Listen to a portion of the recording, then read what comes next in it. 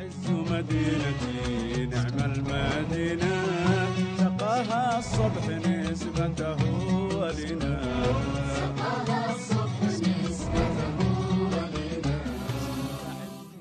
مشاهدينا الكرام أهلا وسهلا بكم إلى حلقة أسبوعية جديدة من برنامجكم الحالمة. وفيه نسلط الضوء على العديد من القضايا والموضوعات التي تهم الشارع في تعز. نبحثها ونناقشها مع المسؤولين والمختصين لنستمع إلى ردود وإيضاحات بشأنها. نجول أسواق المدينة لنتعرف على نشاط الحركة فيها وكيف يقضي الناس حوائجهم. كما سنتوقف إياكم على بصمات لإحدى الطالبات التي تستعد للمشاركة في مواجهة الوباء. فأهلا بكم.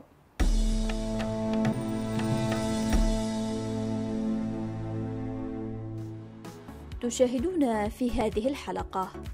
تجار تعز يشكون احتجاز نقاط أمنية تابعة للانتقال لشاحنات نقل البضائع وتخوفات من نقص التموين في الغذاء مع إجراءات مواجهة كورونا. إقبال كبير على محلات بيع البهارات في تعز وربات بيوت. الحوائج سر النكهة والمذاق الشهي في موائد الشهر الكريم. منار علوان. من طالبة في الصيدلة إلى متطوعة تتدرب للتوعية بالوقاية من كورونا.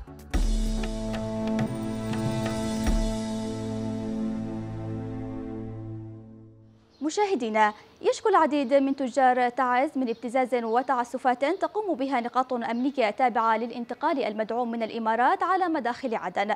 وتتلخص في فرض إتاوات واحتجاز شاحنات نقل البضائع إلى المحافظة. ويبدي الكثير تخوفه من أن يؤدي مثل هذا الإجراء غير القانوني أو المبرر إلى تداعيات في الجانب الاقتصادي والإنساني وأهمها في التأثير على مخزون تعز التمويني من المواد الغذائية والإستهلاكية. لا سيما وأن المحافظة تستعد لتنفيذ تنفيذ إجراءات لمواجهة فيروس كورونا.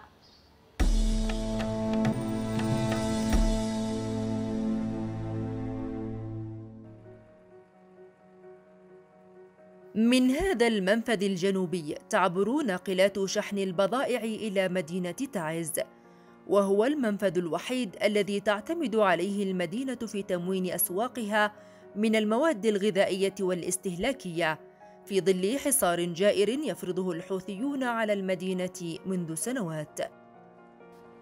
ظل المنفذ الذي هو جزء من الطريق الرابط بين تعز والعاصمة المؤقتة عدن بمثابة شريان حياة تتغذى منه المدينة، ومنه أيضا تطل على العالم الخارجي. غير أن حيوية هذا الطريق تعترضها اليوم مخاطر، مع بروز تحديات على مسار الخط تجعل من مسألة الاعتماد عليه على المحك. فاستمرار الانتقال المدعوم إماراتيا في عرقلة حركة التجارة من عدن إلى تعز واحتجاز نقاط أمنية تابعة له على مداخل العاصمة المؤقتة. شاحنات نقل بضائع خاصة بتجار تعز يؤثر بشكل مباشر على التموين الغذائي لهذه المحافظة. وتدفع بتخوفات السكان بشأن مخزون القوت الضروري لتعز التي ينشط فيها الجميع لمواجهة وباء كورونا. نحصل مشاكل في الطرقات. نحمل بضاعة من عدن يتم حجز الشاحنات في نقطة الرباط. يمنعون عن بخروج الموجة الأرضية نهائيا من عدن. نقص في داخل النقطة يوم يومين يسمحوا لنا بالعبور. نعاود اليوم الثاني يعني البابور بالله ما يعمل بالأسبوع ثلاثة تريبات يعمل تريب واحد وفيما أراد مكتب التجارة والصناعة بتعز من خلال اجتماع عقد بالغرفة التجارية إلزام كبار التجار توفير مخزون كبير من المواد الغذائية والاستهلاكية في الأسواق، إضافة إلى خفض أسعار المواد الغذائية كاستجابة للإجراءات الطارئة.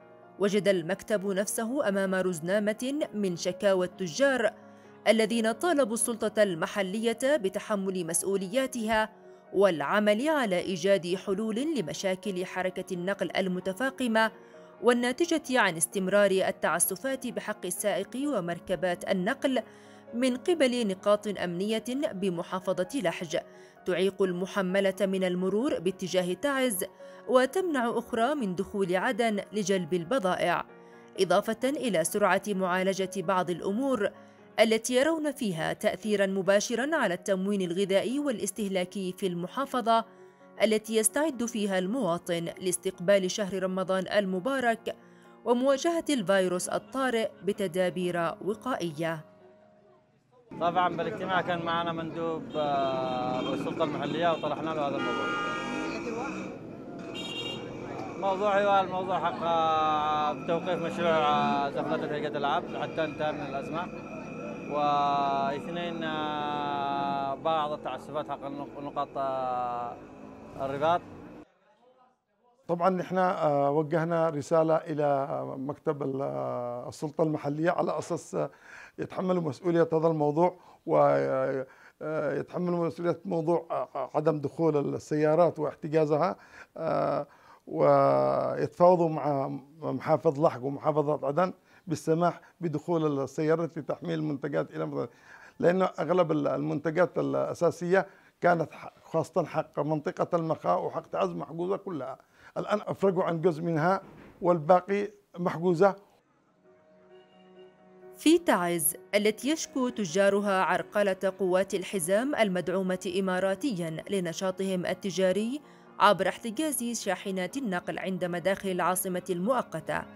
يقع ميناء المخا أقدم وأشهر الموانئ في البلاد والذي يمكن أن يطلع في حال تأهيله بدور حيوي ويسهم بشكل كامل في إمداد تعز التي هو جزء منها بكل احتياجات سكانها من الغذاء وغيرها من متطلبات المعيشة. لو كانت وجدت منطقة ميناء المخا والمنطقة مفتوحة كان احتلت المشكلة. مسألة الأمن الغذائي في زمن كورونا تعد من الأولويات مع انتهاج كثير من الدول سياسة إغلاق المنافذ واتباع طرق الحجر الصحي وفرض حظر التجوال.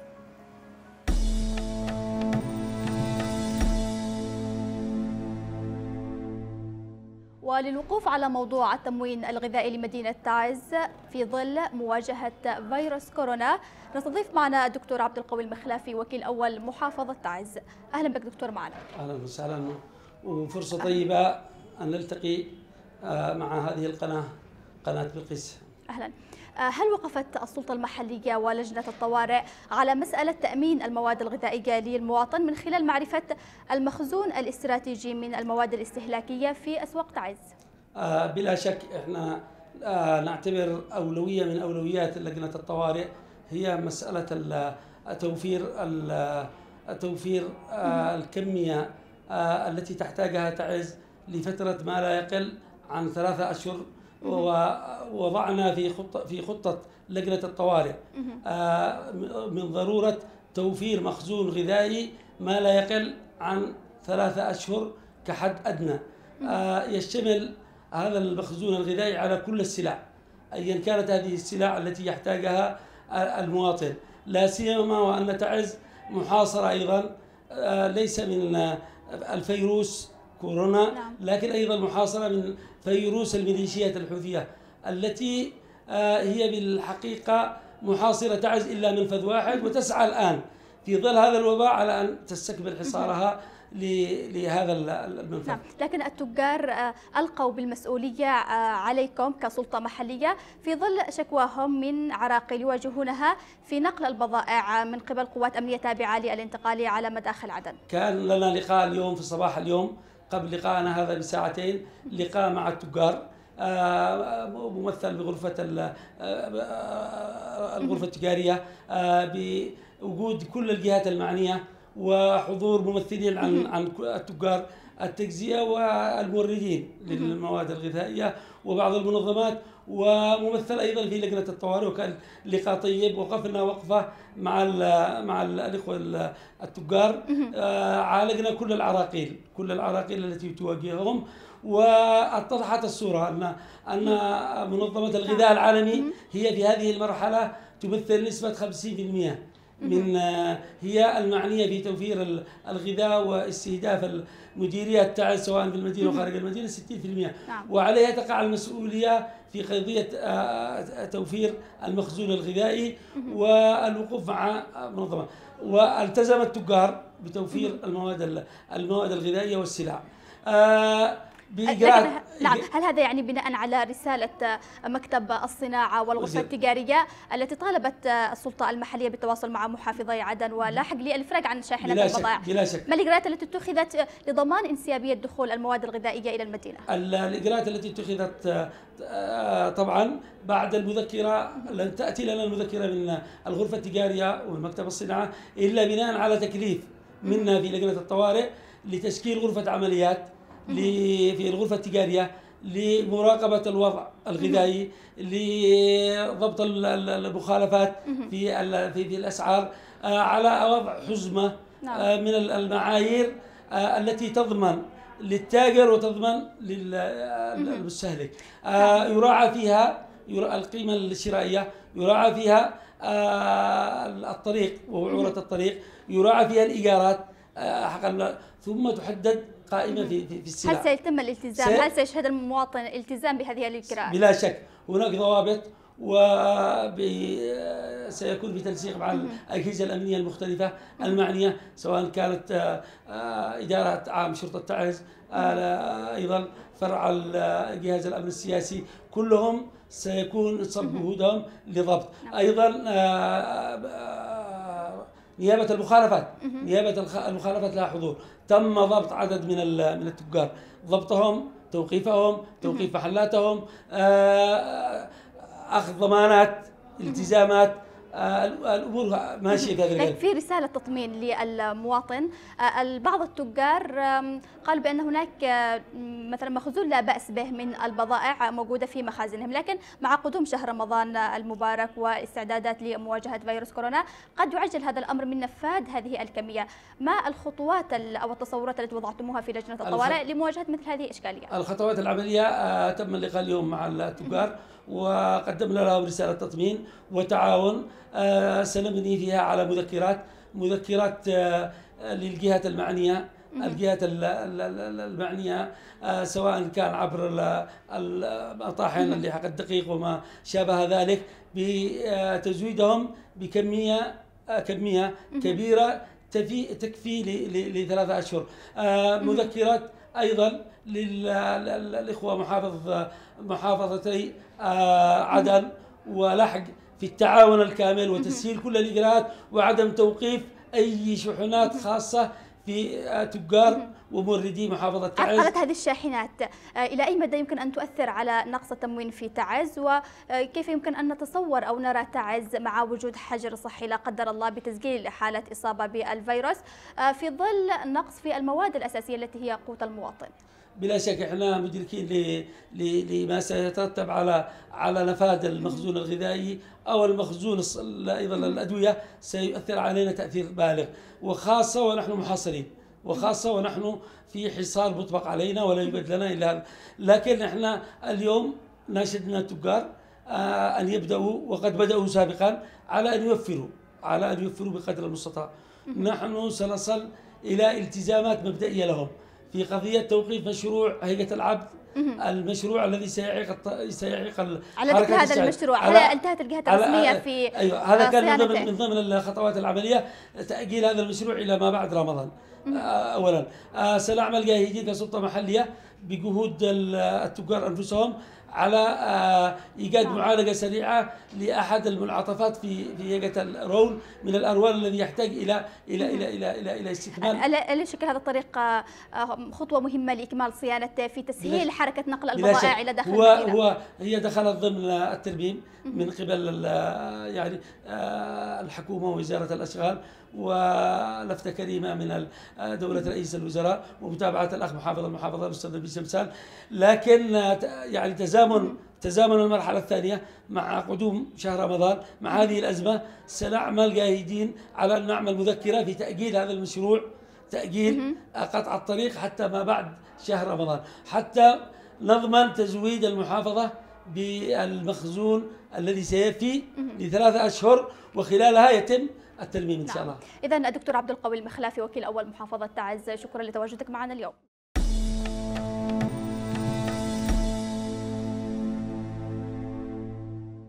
مرحبا بكم من جديد. تنتعش بتعز حركة البيع والشراء في المحلات الخاصة ببيع البهارات والمكسرات. ولعل استعداد كثير من الأسر لموائد الشهر الفضيل هو من يدفع ربات البيوت للذهاب إلى أسواق المدينة وشراء حاجياتها من البهارات كثيرة الأسماء متعددة الاستخدام. نتابع.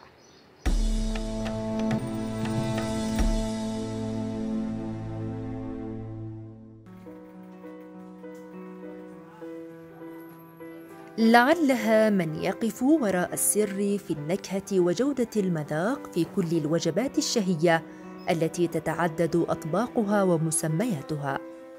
إنها البهارات والمكسرات.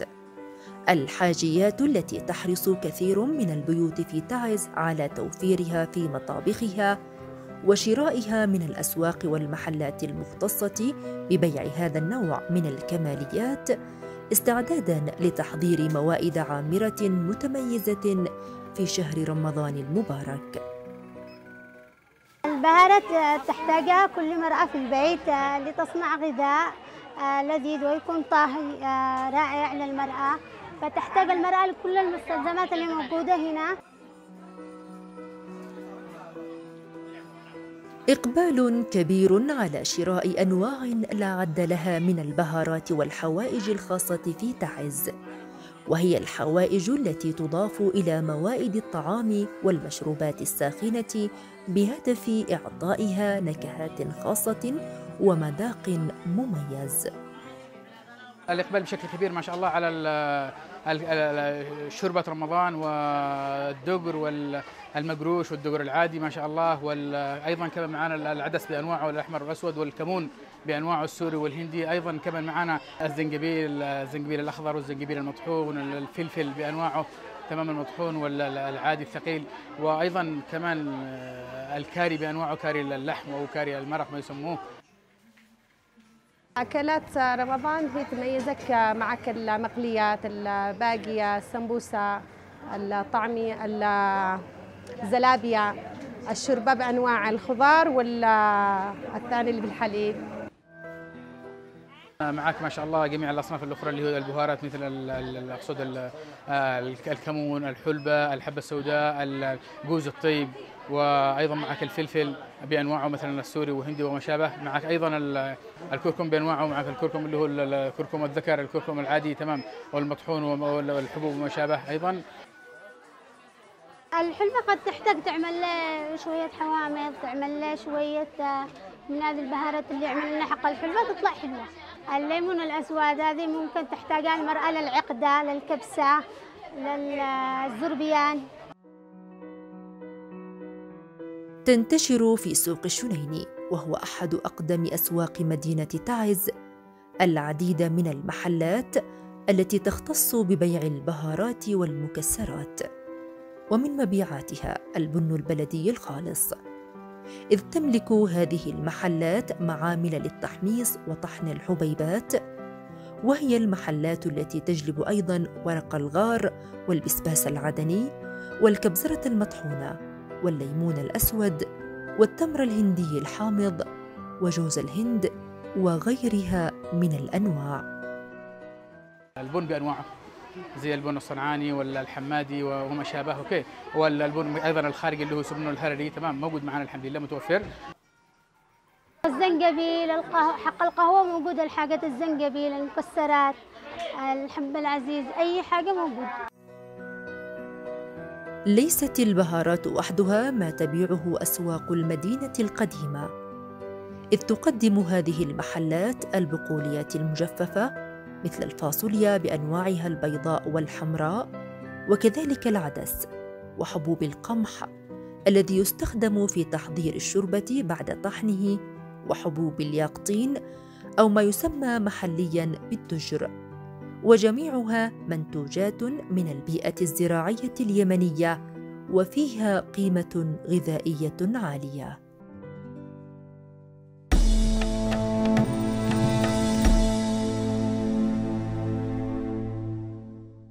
من الطلاب لزموا منازلهم مع إعلان الجامعات والمؤسسات التعليمية منح طلابها إجازة استثنائية في ظل جائحة وباء كورونا. غير أن الطالبة في المستوى الثاني بكلية الصيدلة منار علوان ومن سار على نهجها أصروا على أن يكون لهم دور في مواجهة الفيروس بدلا من المكوث في المنزل. في الفقرة التالية نسلط الضوء على اهتمام منار بدورات التوعية على أمل مشاركتها بتوعية مجتمعها من مخاطر هذا الفيروس.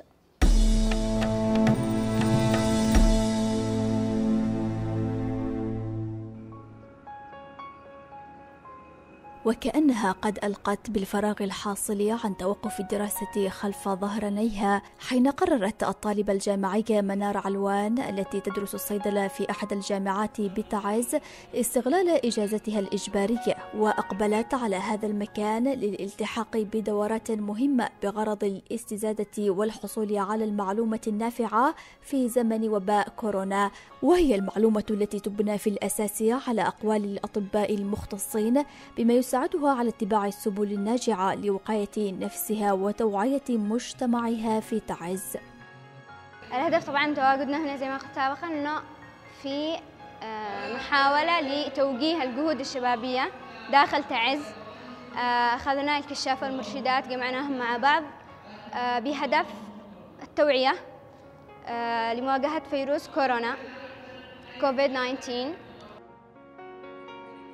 تشارك منار التي تحرص على تدوين كل معلومة يقولها المدرب المختص في معالجة ومواجهة فيروس كورونا. ألفي شاب وشابة يمثلون مفوضية الكشافة والمرشدات والجامعات الأهلية والجامعية والأندية الرياضية في هذه الدورات التوعوية التي تتوزع في أكثر من مكان بتعز.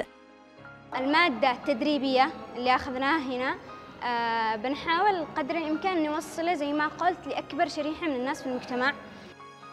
كيف يواجه الشباب هذا المرض الجائحة هذه اللي اجتاحت العالم؟ كيف الشباب يواجه هذه الظاهرة؟ من خلال آه أن يقوم بدوره في التوعية أولا آه وثانيا بتقديم المعلومات والخدمة العامة التي يقدموها للمجتمع تقول منار إن معلومات ومفاهيم خاطئة تم تصحيحها من قبل المدرب وهو ما ستعمل عليه خلال حملات التوعية المجتمعية التي ستقوم بها مع فريقها. من أهم الأشياء الذي آه، حسيت استفدت منها شخصيا موضوع مثلا حكاية استخدامات الكمامات إنه يفترض ما تستخدم ب يعني بأكثر من مرات تستخدم لساعات معينة. إحنا عندنا في أفكار مغلوطة إنه مثلا بيست... بيأخذ الكمامة ويستخدمها ل 12 ساعة أو يوم أو يومين. يأخذ المدربون في هذه الدورات خصوصيات تعز بعين الاعتبار وتتطرق شروحاتهم إلى عادات وتقاليد مجتمعية تتضمن بعض المفاهيم الخاطئة عن وسائل وأساليب الوقاية من هذا الفيروس المعدي. مع التأكيد على ضرورة تغيرها من خلال تقديم معلومات علمية وطبية. أهم الأشياء التي ركزنا عليها هي التعريف بشكل عام عن وباء كورونا وما هو وباء كورونا والأعراض وكذا بحيث تكون عندهم خلفية للتوعية أيضا. لأنه عندما توعي وأنت ما فيش عندك خلفية صحيحة أو معلومات صحيحة ومضبوطة سيكون هناك أخطاء شائعة في التوعية وفي التثقيف للناس. وتعد دورات التوعية واحدة من المبادرات الهادفة إلى خلق وعي مجتمعي بتعز قادر على التعامل مع الطارئ وتجنب مسببات وناقل العدوى الفيروسية.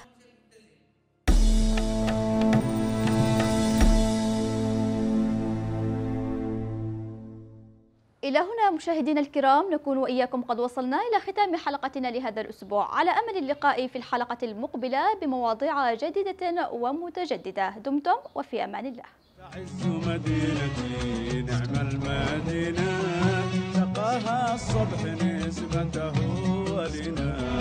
سقاها الصبح نسبته ولنا.